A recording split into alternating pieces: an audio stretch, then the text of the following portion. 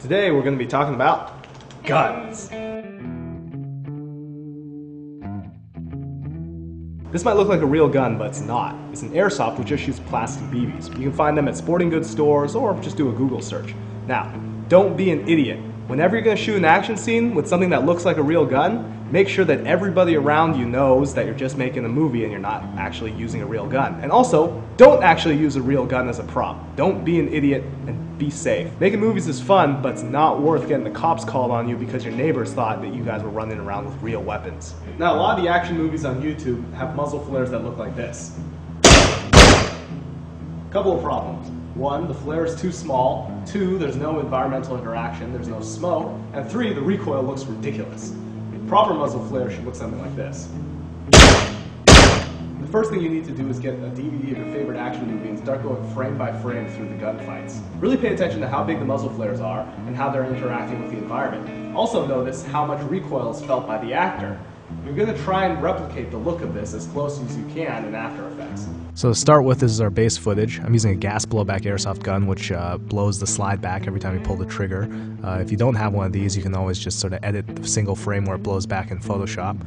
Uh, I found a muzzle flash image using Google image search just for muzzle flash, like one of the first things I got. You're looking for a muzzle flash image on black because what we're going to do is put it in and resize it and walk it into place here and we're going to set the blending mode on it to screen, which uh, will take away the black.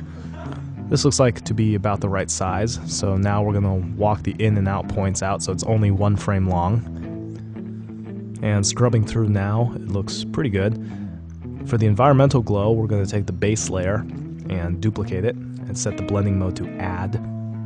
If you want to be fancy with it, if you want the uh, flare to cast a certain color of glow, you can go to color correction tint but uh, it looks pretty good right now, so we're just going to ignore that.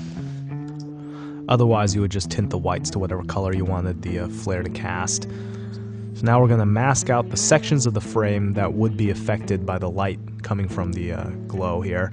So it'll be my face, uh, a little bit of my body and my leg here, and uh, a little bit of my hand as well. If you want to get even more fancy, you can add masks for parts where a shadow would be cast from that point source of light, but we're not going to be that fancy here. For the wall behind it, we're going to take an elliptical mask tool and uh, bring the feathering on everything up. Uh, and then the one in the back here, the elliptical mask, I'm going to bring the feathering up way more so it's uh, a little more diffuse and position that in. Scrubbing through with the opacity, this is what it looks like with the glow and without. We're going to keyframe the uh, glow in right when the flare happens and off right before. And I like to add two frames for the glow to sort of start at full intensity and then fade out over the course of two frames.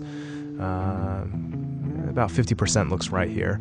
So playing through it, it looks pretty good with just the flare and the environmental glow, but if you want to add a little more to it, you can add a smoke layer there's basically two ways you can get smoke. One is you can buy it from uh, an effects package like uh, the Video Copilot Action Essentials pack, which I'll put a link to in the uh, description box.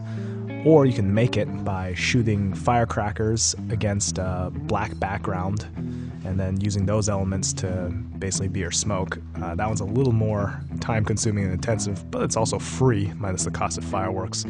So with the smoke, I just threw it in there, positioned it, and set to screen blending mode, and it looks pretty good with it. So this is what the final effect looks like.